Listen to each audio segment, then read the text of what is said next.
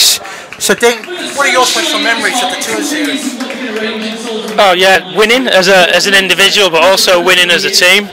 Uh, many rounds that we won as a team uh, in the uh, the Rapha Condor Sharp days. So those are my special memories. But um, also probably as a team event, it, it was all about, it was all new concepts ten years ago, and getting getting in quickly to know about how that worked was what we did as a team very quickly with the likes of myself, Kristian House, John Herety at the helm, you know, Thomas Southam, uh, Darren Lapthorne, Zach Dempster, Briggsy, Ed, you know, the list goes on like so. Winning it in 2011 was pretty good. The overall team award, um, that was pretty cool. Um, but yeah, just just racing with a lot of great great racers, great great bike riders, get great bike riders has been pretty cool over the last well 10 years. Yeah. You were there at the beginning. Now you're here on the 100th edition. What do you think are the, the things that stand out that are different? Obviously, the riders get it more now. Yeah, my grey hairs. I think ten years is a long time. But yeah, it, it, was a it was a totally new concept um, in the beginning in 2009, and you know we we quickly got it. Um, but we yeah, we got it quickly. But also as well, like there's there's stories of which everybody knows of me winning a individual round and getting told off for winning by John. And you, I look back at it now, and even just straight after that, we're like, well, actually, yeah, it would have been better me as a sprinter to hold back, send one of the other riders up the road, i.e. the endurance guys such as Tommy Southam and Lappers or Demers, or you know, and then me get the points from the bunch kick.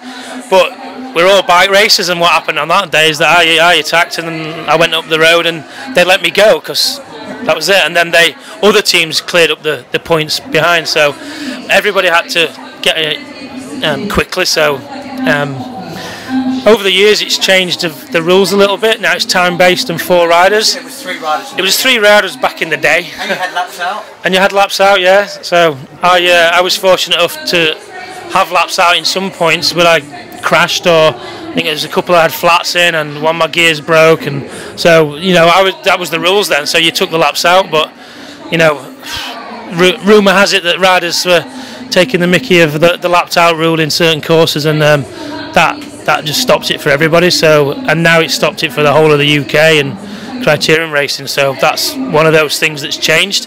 And straight away when that changes it changes the dynamic of the race because not as many risks. If you're taking risks, you've got to take the consequences, which is get to the pits, chase. If it's a bike change, you've got to chase. We saw some great, I mean, great manoeuvres from from Hank the other night, and he had a nightmare. Poor lad, he crashed and split his chin from what I've seen, and he was chasing all race. And you know, Hank's a very, very good crit rider, um, very good rider outright. But he he was doing the utmost to keep that position by having, I think it was like a three bike changes or something. So that's kind of how it's changed, and it's it's all team based now, four riders uh, times. So it's changed over the years. It's got more intense. Um, a lot of riders come here from abroad to do this series, um, and the standard of racing is is high, very high standard. In terms of the victories, in terms of a team victory and individual, you've experienced both reality, honestly, what is better?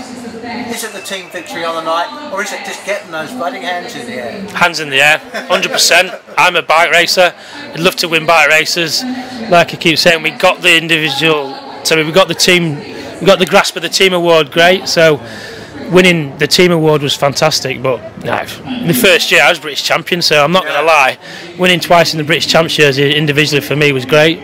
I got I got the Mickey taken out of me for the first one with my own nipple twig, and then I got told off for winning from my boss, from John Herety. But the win's there. But we did win a lot of team victories along the way. And when you when you stood up there, and you know, in the early days, we all had champagne and the trophies, and you know, lots of press. Team owners are happy, team sponsors are happy, and you have a lot of fun with your teammates on that podium when you've won the team award.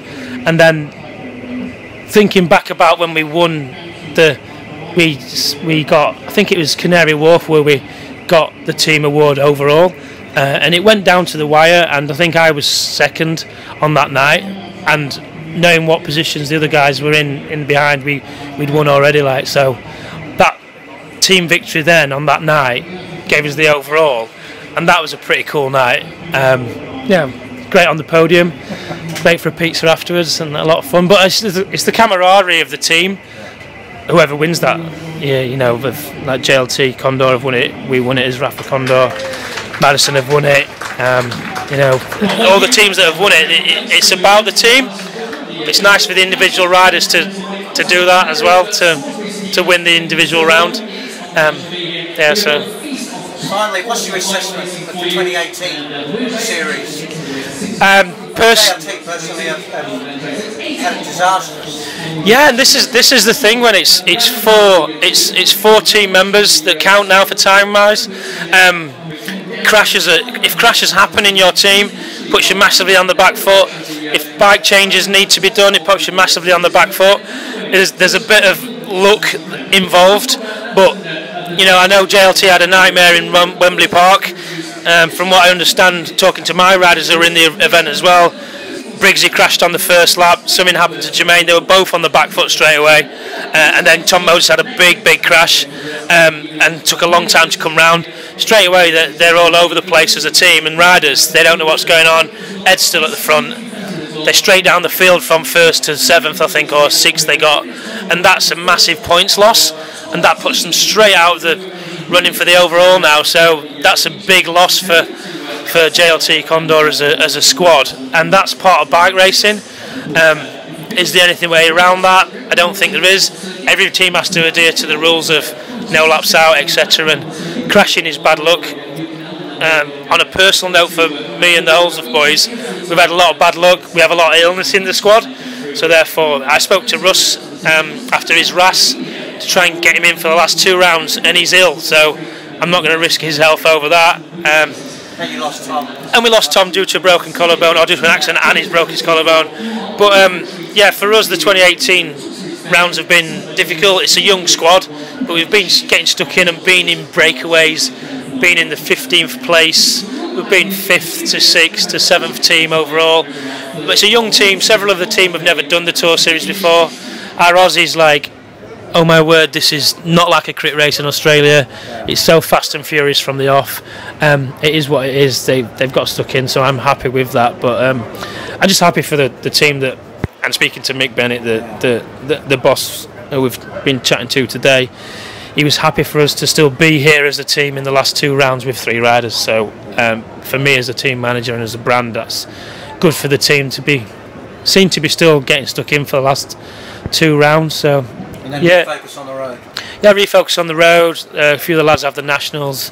Uh, the Irish riders have the nationals. The two Italians have gone back or going back for the nationals, and then it's crit time again in July. So, um, but as a as a as a as an ex racer of the Tour Series, it's been pretty exciting uh, with the teams swapping at the top, um, and it's down to the last wire with um, down to the last round with Canyon and um, Madison Genesis. So um, that'll be a good fight tonight, I think. You enjoying watching it? Yeah, yeah, I'm, I'm a bike racer, so I enjoy watching the, and just enjoy watching where my riders are. Yeah. And as strange as it sounds, probably shouldn't say it as a manager of different teams, but it's nice to see where my friends are and you know my mates who are racing on opposite teams now, and you know, it's nice to see Connor Swift in the in the in the fight for the line the other night with Tom Pidcock, and nice to see Edwin the other night in in um, in Aberdeen. So yeah, I still love cycling. I still love coming in around all these uh, big events. So it's, yeah, it's You good. weren't tempted to put yourself in as fourth man. There was talk of that. There was talk of that. But yeah, we didn't have a bike small enough, so or kit big enough.